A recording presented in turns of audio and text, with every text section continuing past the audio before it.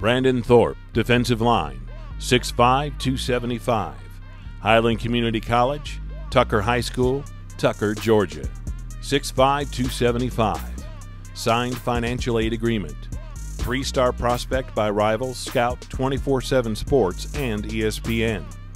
Last season at Highland Community College, he registered 31 tackles, 3 sacks, 3.5 tackles for loss, 5 forced fumbles, and 1 fumble recovery.